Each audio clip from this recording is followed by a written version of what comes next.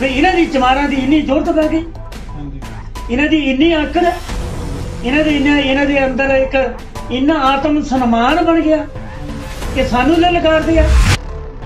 ਅੱਜ ਸ੍ਰੀ ਗੁਰੂ ਰਵਿਦਾਸ ਨਾਮ ਲੇਵਾ ਸੰਗਤਾਂ ਇੱਕ ਪਲੇਟਫਾਰਮ ਤੇ ਬੱਲਾ ਨਾਂ ਦੇ ਪਲੇਟਫਾਰਮ ਤੇ ਇਕੱਠੀਆਂ ਹੋਣ ਲੱਗੀਆਂ। ਇਹ ਕੱਲ ਨੂੰ ਰਾਜਨੀਤਿਕ ਹੱਕ ਮੰਗਣਗੀਆਂ। ਇਹ ਕੱਲ ਨੂੰ ਧਾਰਮਿਕ ਹੱਕ ਮੰਗਣਗੀਆਂ।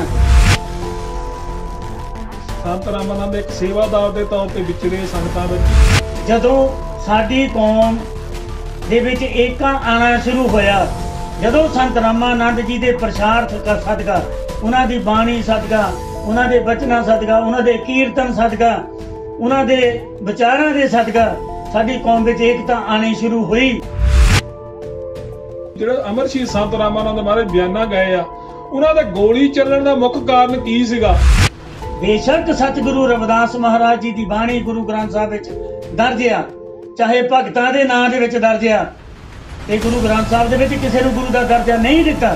ਪਰ ਅਖੌਤੀਆਂ ਨੇ ਉਹਨਾਂ ਪਹਿਲ ਗੁਰੂਆਂ ਨੂੰ ਗੁਰੂ ਕਹਿਣਾ, ਜਿਹੜੇ ਸਿੱਖ ਧਰਮ ਦੇ ਮਹਾਪੁਰਸ਼ ਉਹਨਾਂ ਨੂੰ ਗੁਰੂ ਕਹਿਣਾ ਔਰ ਇਹਨਾਂ ਨੂੰ ਭਗਤ ਕਹਿਣਾ, ਇੱਕ ਹੁੰਦਾ ਭਗਤ ਕਹਿਣਾ, ਇੱਕ ਹੁੰਦਾ ਟੰਟਿੰਗ ਦੇਣਾ ਕਹਿਣਾ, ਜੋ ਸਤਕਾਰ ਡੇਰਾ ਸੱਚਖੰਡ ਬੱਲਾਂ ਦੇ ਦੁਆਰੇ ਤੇ ਜਾਂ ਜੋ ਜੋ ਸਤਕਾਰ ਡੇਰਾ ਸੱਚਖੰਡ ਬੱਲਾ ਨੇ ਸਮਾਜ ਨੂੰ ਆਪਣੇ ਹਿੱਕ ਦੇ ਨਾਲ ਲਾ ਕੇ ਦਿੱਤਾ, ਉਹ ਕਿਤੇ ਵੀ ਮਿਲਦਾ। ਅੱਜ ਘਰ ਘਰ ਦੇ ਵਿੱਚ ਸੰਤ ਰਾਮਾਨੰਦ ਮਹਾਰਾਜ ਦਾ ਜਿਹੜਾ ਵੀ ਕਮੀ ਆ, ਡੇਰੇ ਵਿੱਚ ਤਾਂ ਕਮੀ ਆ।